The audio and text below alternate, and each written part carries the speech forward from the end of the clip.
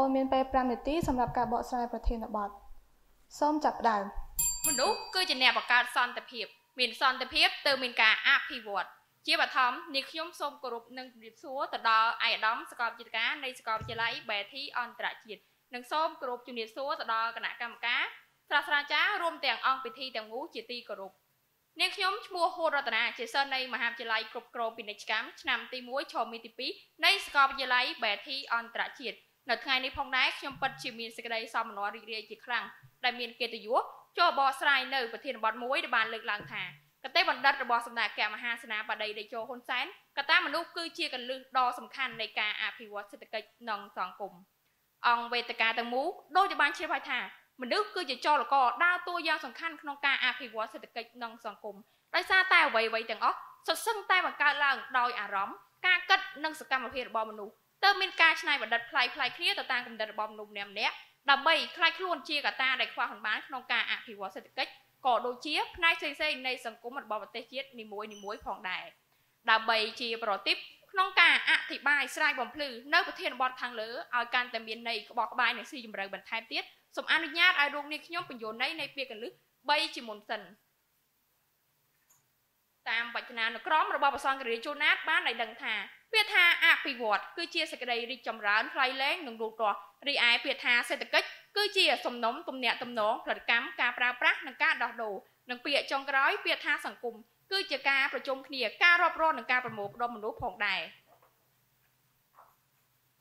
តាមកតេបណ្ឌិតរបស់សម្ដេចព្រះមហាសេនាបតីតេជោហ៊ុនសែនបានមានប្រសាសន៍ថាកត្តាមនុស្សគឺជាកលឹះដ៏សំខាន់នៃការអភិវឌ្ឍសេដ្ឋកិច្ចនិងសង្គមពិតមែនឬ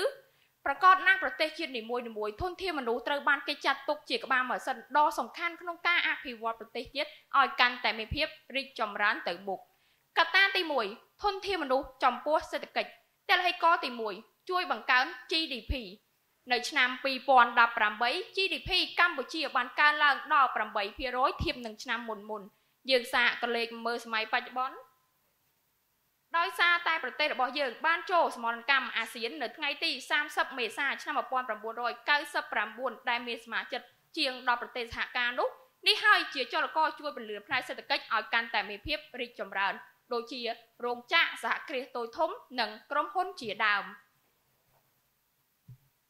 រីឯតលហិកទី2វិញគឺ ជួយបង្កើនផលិតផលក្នុងស្រុក ប្រទេសជាតិមួយមានមនុស្សយល់ដឹងបានច្រើនមានការងារធ្វើគ្រប់គ្រាន់នឹងជីវភាពកាន់តែប្រសើរឡើងនោះពួកគាត់នឹងកាត់បន្ថយការប្រើប្រាស់របស់បរទេសហើយងាកមកគ្រប់គ្រងនៅផលិតផលក្នុងស្រុកវិញដែលតួយ៉ាងរួមមានស្រូវអង្ករបន្លែផ្លែឈើនិងរបស់របរប្រើប្រាស់ផ្សេងផ្សេងថែមទាំងជួយក្នុងការបង្កើនអតិផលណានិងលោកស្ទួយរូបិយប័ណ្ណជាតិទៀតផងជាក់ស្ដែងដោយប្រទេសចិត្តខាងអតិផលណាបានកើនឡើងជាង 4.5%នៅឆ្នាំ2019ទៅ5.2%នៅឆ្នាំ2020រីឯកត្តាទី2វិញគឺធនធានមនុស្សចំពោះសង្គមដើម្បីអភិវឌ្ឍប្រទេសដោយផ្អែកលើចំណេះដឹងកម្ពុជាត្រូវសម្រេចបាននៅគោលដៅដូចជាការប្រើប្រាស់មនុស្សចេះដឹងឲ្យចំទិសដៅនិងអស់ពីលទ្ធភាពបន្ទាប់មកបង្កើនការសិក្សាឲ្យទាន់សម័យ Digital ដោយយើងដឹងស្រាប់ហើយថាអំឡុងពេលជំងឺរីករាលដាល COVID-19 គ្រឹះស្ថានអប់រំបានអង្វែការសិក្សាទៅតាមប្រព័ន្ធអេឡិចត្រូនិករីឯតលហិកចុងក្រោយហេដ្ឋារចនាសម្ព័ន្ធរីកដុះដាលប្រទេសមួយកាន់តែមានភាពជឿនលឿនដូចនាពេលបច្ចុប្បន្នមានអាគារខ្ពស់ខ្ពស់ស្ពានអាកាសធំធំនិងផ្លូវខ្វាត់ខ្វែងទីក្រុងនោះនេះហើយជាកត្តាមួយជួយកាត់បន្ថយភាពក្រីក្រជួយដល់ប្រជាជនឲ្យមានការងារធ្វើនិងកាត់បន្ថយចោរកម្មជាដើម។ សរុបសេចក្តីមកយោងតាមអំណាចអំណាងខាងលើសេដ្ឋកិច្ចនិងសង្គមមួយអាចរីកចម្រើនទៅមុខបានដរាបណាមានកត្តាធនធានមនុស្សចូលរួមនិយាយចំពោះមនុស្សនិងសេដ្ឋកិច្ចប្រៀបបានដូចជាទឹកនិងត្រីមានធនធានមនុស្សច្រើនក៏រសារតែប្រទេសមានសុខសន្តិភាពនិងការគ្រប់គ្រងយ៉ាងឈ្លាសវៃរបស់មេដឹកនាំក្នុងនាមខ្ញុំជាយុវជនចំនួនក្រោយមួយរូបក៏ដូចជាសិស្សនិស្សិតនៃសាកលវិទ្យាល័យ BETI ផងដែរ ខ្ញុំសូមបដិញ្ញាថានឹងធ្វើជាធនធានដ៏ល្អក្នុងការចូលរួមអភិវឌ្ឍប្រទេសឲ្យកាន់តែមានភាពរីកចម្រើននៅថ្ងៃអនាគតក៏ប៉ុន្តែការចូលរួមតាមម្នាក់ឯងបែបនេះមិនទាន់មានប្រសិទ្ធភាពឡើយទេព្រោះត្រាតែអ្នកទាំងអស់គ្នាចូលរួមសហការជាមួយខ្ញុំបន្ថែមទៀតតើអ្នកទាំងអស់គ្នាយល់ព្រមសហការដែរឬទេអរគុណដែលបានសហការសូមអរគុណ សូមអរគុណបងមានពេល2នាទីសម្រាប់ការឆ្លើយសំណួររបស់គណៈកម្មការផ្ដល់បន្ទុកជាបឋមសូមគោរពអាយដាមសកលចេតកានៅគណៈគ្រប់គ្រងបងអូនហួតរតនាសំណួររបស់ខ្ញុំគឺតើជាការពិតទេសេដ្ឋកិច្ចអភិវឌ្ឍទៅបានដោយសារកត្តាមនុស្សហើយតើមនុស្សប្រភេទណាដែរចូលលើកឧទាហរណ៍បញ្ជាក់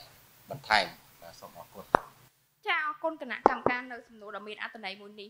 ចំពោះកំណត់នាងខ្ញុំវិញប្រកាសណាស់សេដ្ឋកិច្ចឬក៏សង្គម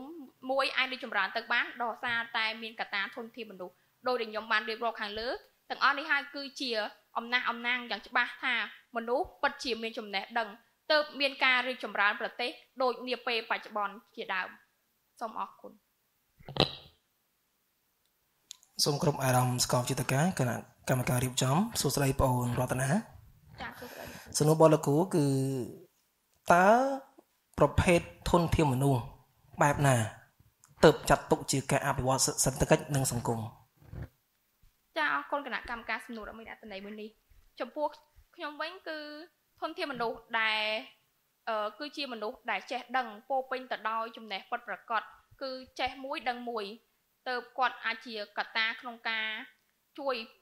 អឺរីកចម្រើនប្រទេសជាតិឬក៏ជួយ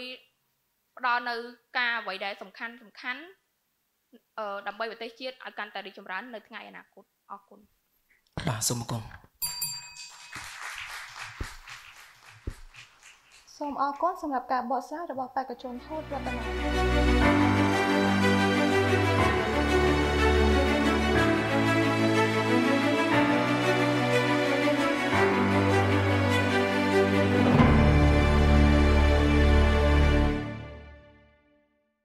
Belty International University, the future of global leaders.